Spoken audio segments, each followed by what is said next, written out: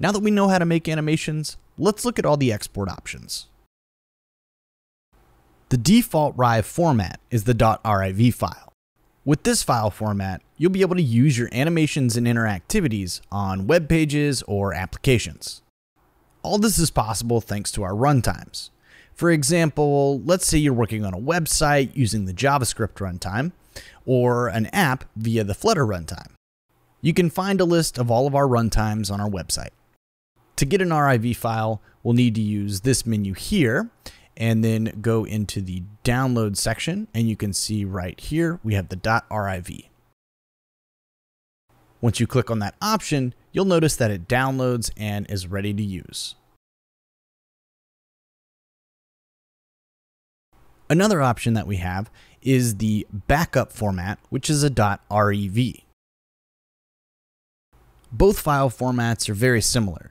The main difference is that the backup or .rev stores a lot more information, such as the position of your states on your state machine graph. This one is the one that you should use as a backup or if you want to send the file to someone else.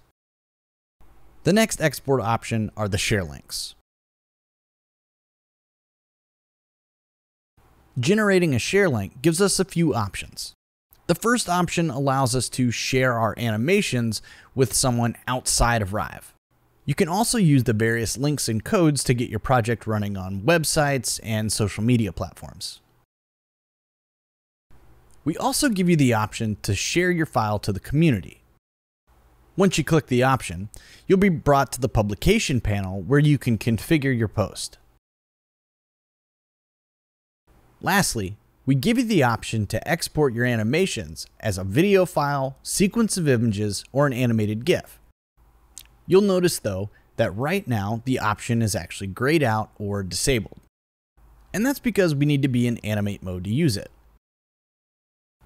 But now that we're in animate mode, when we go back up to the option, you can see that add to cloud renderer reappears.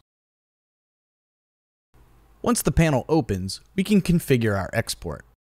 There's a number of things we can do, like change the name, or if we have multiple animations, we can use this drop down to select which one we want to export. Under this, we can change the file format from H.264 to PNG sequence, GIF, and WebM.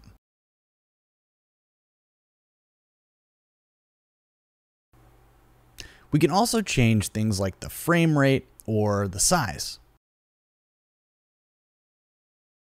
We can also change the duration, or we have this option that's 1x, 2x, 3x.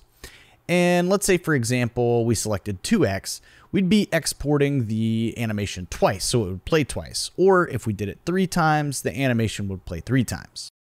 Once we have everything configured, we can use the Start button to begin the export process. If we've got other things to do, we don't have to wait for this to finish. We can actually click out and we'll be notified when the export is complete.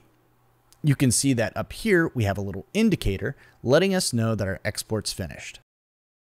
When our export's finished, we can go to this View in Cloud Renderer button, open that up, and you'll see that our animation is done. Now all we need to do is either use this button or the download button to actually download our file. And you can do this with as many animations as you want. You can export as many as you want and batch download them as well.